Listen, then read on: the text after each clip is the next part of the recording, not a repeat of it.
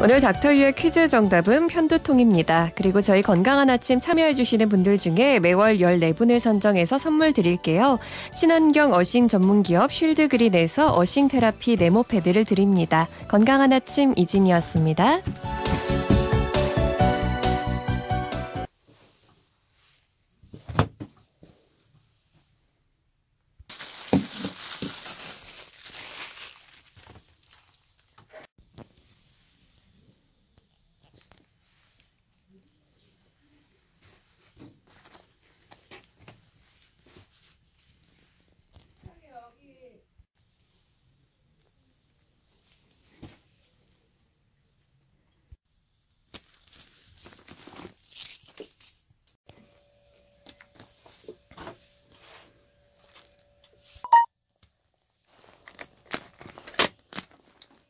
知道。